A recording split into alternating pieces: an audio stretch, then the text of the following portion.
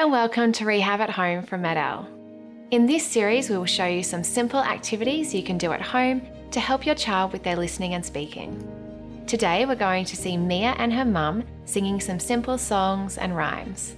Songs and rhymes are a fun way to encourage your child's listening and spoken language development. Let's hear their songs. Twinkle, twinkle, little star.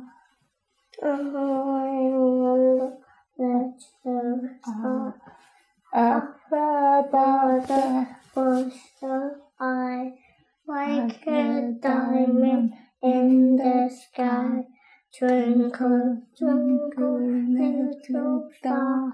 How I wonder what you are. Let's turn three back to one for the master, one for the day, one for the little boy with down the lane. Think you said the master, think you said the day, think you said the little boy who lived down the lane. Out in the sunshine and ride for the rain.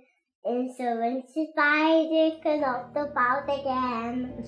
As you can see, songs give children practice listening to and using new sounds and words and more complex sentence structures over and over again in an engaging way.